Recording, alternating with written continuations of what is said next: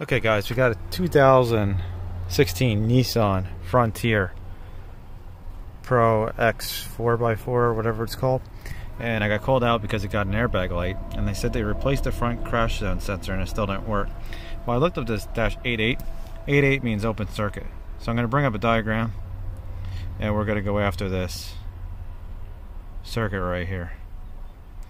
Uh, they all you can see that they were doing some other stuff because we got these history faults. So they were messing with stuff. So we're gonna find out where this crash zone sensor lives, and we're gonna go test the circuit. Okay, guys. So it says the crash zone sensor is behind the center of the front bumper. So we're gonna go look at that. We'll hook our scope up, and we'll look see what our signal looks like. So guys, I was trying to go after the front airbag sensor and it wasn't working. So they said to go after the door. So I got my ETC 3000 connected and I have it going into the door wire right there and then I'm reading it over here with the scope and you can see the signal looks pretty good now if we move it to the other side because we got an open circuit code let me set the phone down real quick so if we flip these around you don't see a signal there flip it at the door Okay guys, so when I move over to the other wire, the black wire, we got nothing. We got nothing all the way up here.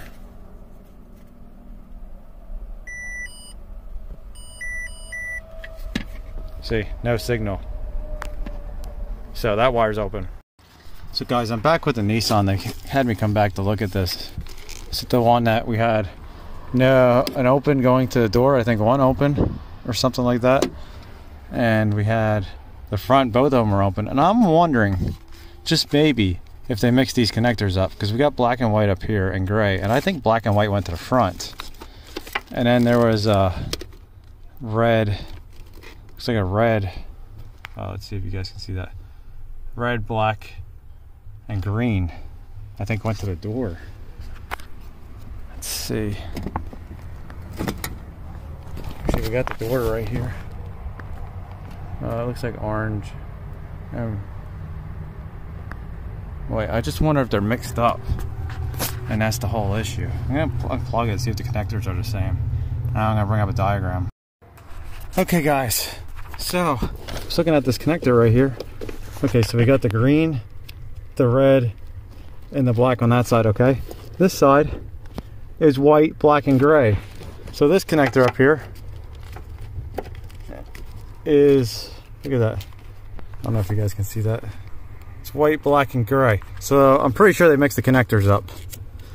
Uh, this is what makes it so hard when they mix connectors up like this. Man, I'm 99.999%. I really want to say 100, but I don't want to jinx myself. Percent sure that that's the issue. So guys, if you look, it says crash zone sensor, white and black, behind front of car. And if you look, here it says left front satellite door sensor red and green so yeah I think that was our issue because now we got red and green going up there to the door and this should be going to the front oh, crazy so I'm gonna get this back together and then we'll test it so guys now look got everything back together codes no codes. Let's cycle the key. Codes. No codes. Can you believe that? They mixed the connectors up. This is ridiculous. So I'm going to finish putting everything back together.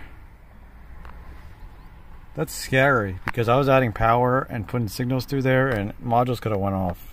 And I usually don't like to do that, but crazy. So guys, I'm doing a full system scan, but I don't know if I included this in the video, but I had disconnected the airbag module uh, down here underneath the cup holder before, and I disconnected the sensor in the front, and I had put a signal through using that uh, Power Probe ETC 3000, and I wasn't getting a signal. I tried using my Power Probe. I was sending power through with a test light on the end because I thought the circuit was open, trying to uh, trying to like see if there was anything going through there, even like with my with my scope hooked up, and this could have got ugly. Like this is like probably like the fifth or sixth vehicle that I came out to here that had the connectors at the wrong spot. And man, you put power through something, you blow an airbag. Hey guys, we got a Nissan flashing uh, airbag light. This is how it flashes when you turn the key on. Well, when you start it up. Yeah, or turn the key on. After seven seconds, it just starts flashing. And I looked it up in information. It says that there's an issue, but there's no. It doesn't look like it's programmed. I don't know how to know if it's programmed, but there's no fault codes. I tried multiple tools. I fixed the issues that it had because it had crash sensor codes because they were hooked up wrong. But I think it's not programmed. Let me know what you guys think. So guys, we're back out with the Nissan, and if you look, this turns on for seven seconds, and it turns on again twice for like a second or two. Then it counts, I think, five times. You can see it flashing there. So this is like a hidden code Nissan has. You'll see it come up again, on for like two seconds, off, on for two seconds, off. We got one, two, three, four, five, six, seven. So it's like a hidden code and it'll keep repeating. So I'm going to look up in repair information see if we can find this code. This is just getting like ridiculous because when you scan it there's no codes. So guys, we'll wait for this to repeat. I figured I think I figured out some direction here. So 1 1000 2 1000 3 1000 3 seconds 1 1000 2 1000 3 1000 you got one, two, three, four, five, six, seven. Okay, so seven. So I came on here. shows you this pattern right here. Look at that. Crash zone sensor. And when you look, it says primary flashes two. So we have our two primary flashes. And then flash length, three seconds each. So when we scroll down to five, it says front door satellite sensor. So that would be the front right. I've been dealing with the front left this whole time. So we're going to go underneath the dash and we're going to look, see if it's possible that they might have flipped some connectors or maybe something ain't plugged in. And we'll go through that. This is insane. Like, why doesn't it set a code for this? Let's see if I can get my scam module on. Let's see, Nissan.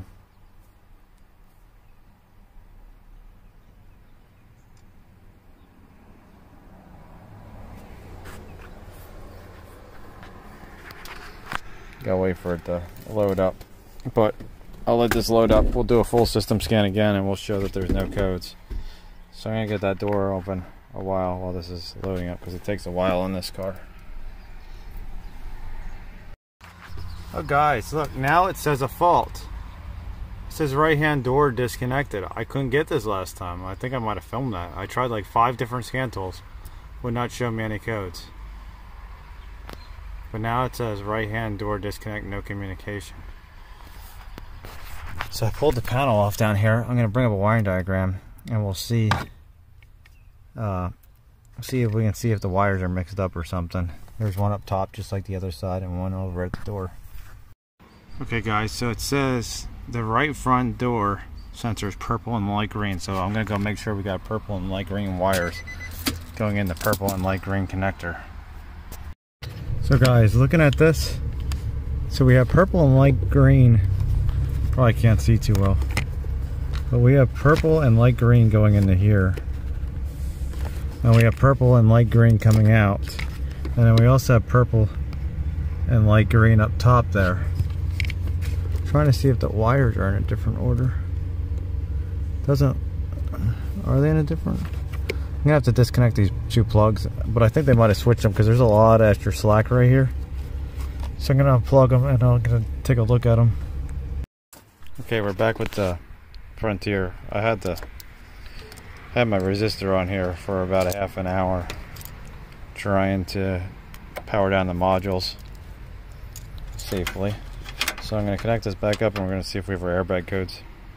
So guys, we still have the same code on the dash where it keeps flashing the 7. And I didn't get to scan it again to make sure. Let's see. Anti-lock brakes. Oh, sorry, I didn't want anti-lock brakes. I wanted a airbag. But anyway, I'm going to go and scan the car again, but I'm going to take this door panel off a while. I want to make sure that the sensor's actually plugged in. Maybe we'll scope the signal. See if uh, they forgot to plug it in or something. So guys, I back probed the sensor over here on the driver's door.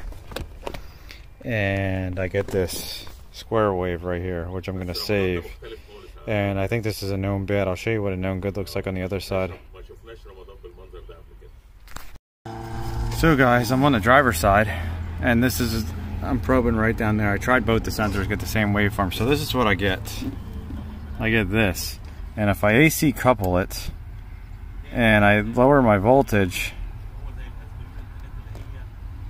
and I pick my time up a lot faster so if we go down to like there you go one volt uh, five milliseconds that's what I'm getting. I can go lower we can go down to one millisecond and then that's what I'm getting. It looks like communication. So that side's open circuit. If I unplug this I get the same signal as the other side. So I think that might be like open circuit in there or something, or maybe the wire's open going to the center console. I'm gonna quick do a couple visual checks real quick and then we'll go from there. So look at this, I was able to make the other code set for the other doors. So I'm gonna see, I'm gonna quick check see if our wire's messed up going to that door or something. I'll be right back. So guys, I back probed the connector here. And now look, we have no codes. So let's see.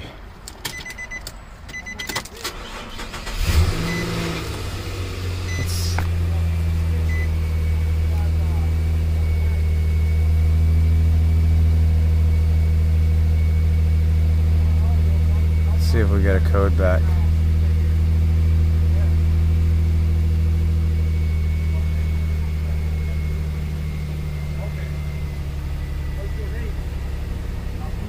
So it's on three times, four times, five times. So it's just a constant flashing now. So I wonder if it has to be relearned because I looked at the scope pattern and our pattern looked kind of the same as before as the other ones like we don't have that oh here it was we just have like it's communicating so I'm gonna see if I can get this to do a so guys I just found a TSB for this I was reading on iATN something about a check engine or the airbag light flashing went in iATN and it said this and then uh, said about TSB. So I look up TSB, there's a TSB. If it flashes on for two seconds, turns off for two seconds, turns on for two seconds, it's in diagnostic mode and you got to take it out of diagnostic mode. So now I'm going to do the procedure. I'll show you the procedure then to get it out. Like you got to turn the key on for so many seconds, turn it off, and you got to use a stopwatch. So do not use the light as an indicator. So we're going to try that real quick and I'll be right back.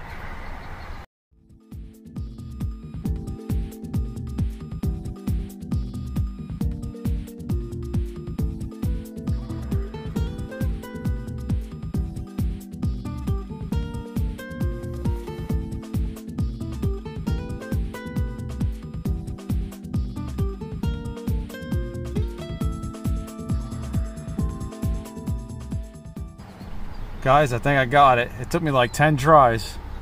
I got it dead on, I think, the last time. So let's turn this, start this up, see if we have any codes. Oh man, guys, this is amazing. You have no idea the struggle. The struggle.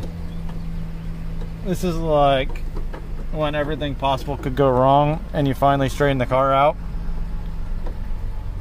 Kind of deal. So I'm going to plug the scan tool back in. We're just going to do one more check on here.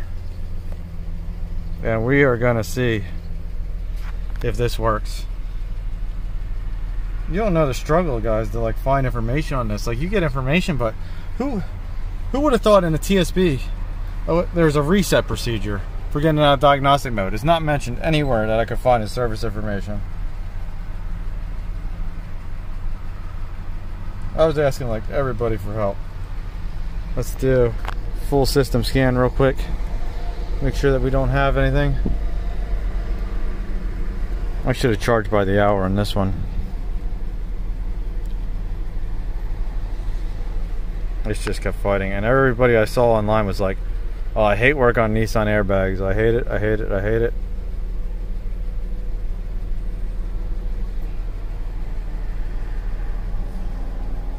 Look at that. We just have one fault code.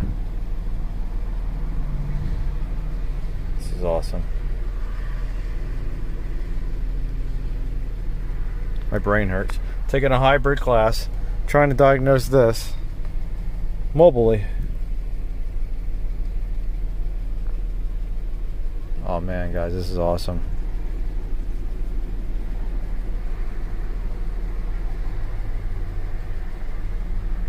And I also found out my laundry was running out of room, so I cleared out all the other stuff I didn't need, like Brazilian cards and stuff. Oh, look at that. Look at that. Shut this off. Try turning it on.